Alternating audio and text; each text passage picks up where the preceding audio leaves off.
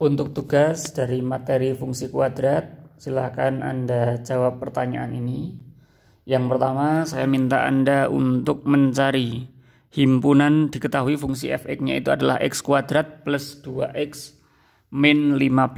Jadi x kuadrat plus 2x min 15. Lalu pertanyaannya adalah saya minta Anda untuk mencari himpunan penyelesaian dari persamaan kuadrat saat y sama dengan 0 persamaan kuadrat saat y sama dengan 0 berarti 0 sama dengan x kuadrat plus 2x min 15 ini silakan dicari himpunan penyelesaiannya. Setelah anda ketemu himpunan penyelesaiannya terserah mau pakai pemfaktoran boleh mau pakai rumus ABC juga boleh. Lalu jelaskan makna dari himpunan penyelesaian tersebut.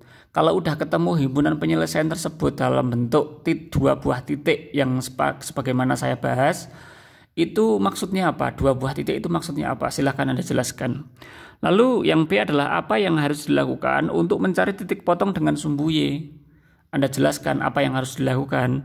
Lalu setelah itu, di titik berapa fx memotong sumbu Y. Anda cari bagaimana cara mencarinya sebagaimana yang saya jelaskan tadi.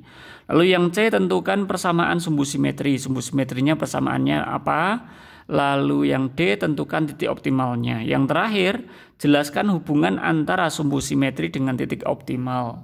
Sebagaimana di rumus yang saya jelaskan tadi, bahwasannya yang namanya e, sumbu simetri dan titik optimal itu saling terkait.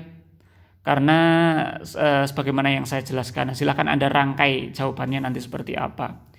Itu tugasnya, kurang lebihnya mohon maaf. Assalamualaikum warahmatullahi wabarakatuh.